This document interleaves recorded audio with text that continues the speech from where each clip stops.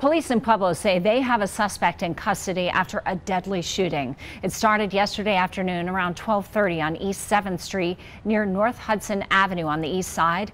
Police say there were a number of vehicles involved and they found a woman shot nearby on North Erie Avenue.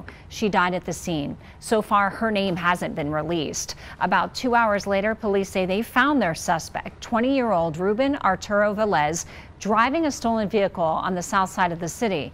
They say they chased him and the suspect got out of the vehicle and tried to run away. Policemen arrested him. He faces first degree murder charges tonight.